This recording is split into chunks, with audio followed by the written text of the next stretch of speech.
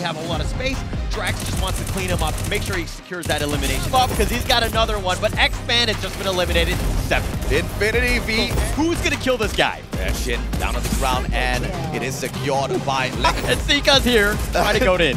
Mag 7 responds, but Bruce turns around MP42. The two more players. What a backstab by Jonah! A couple of tags in. Mag 7 and GU goes down as well. Jonah single-handedly eliminating Magic Squad. No! In hand. Team Flash goes down. Wonderful nade by Too Fast. Backstab by Cobra. Oh! But Drax was able to catch the straggler, Sergeant gets knocked down, and now Magic Squad, they pounce on Hot Shot. With the perfect backstab, misses the opportunity. And look at EVOS. They're eating everyone from across. There's every moment for them to beat, and Aguara rushes in. Faku turns the corner, Oh. Razor does not stand a chance in the back. and feeding them eliminations at this point, not a great situation. Elball, the call was made, everybody ran behind it, they just did a great job. But let's talk a little bit about of sights. It's very difficult, it's very cramped. But oh, oh grenade!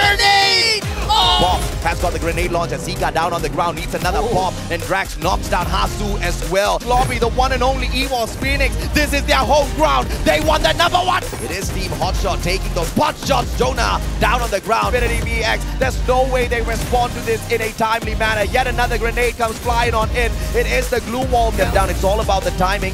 And it is gonna be Hahachi as he backs away. Abdul, what? Your hands already. Infinity right outside, barricaded in. It is the one and only Garthel. Can Garthel respond? Answers no. The sight comes out. BO gets the Elimination so far, Exo finds Bob again! Oh! And stays alive!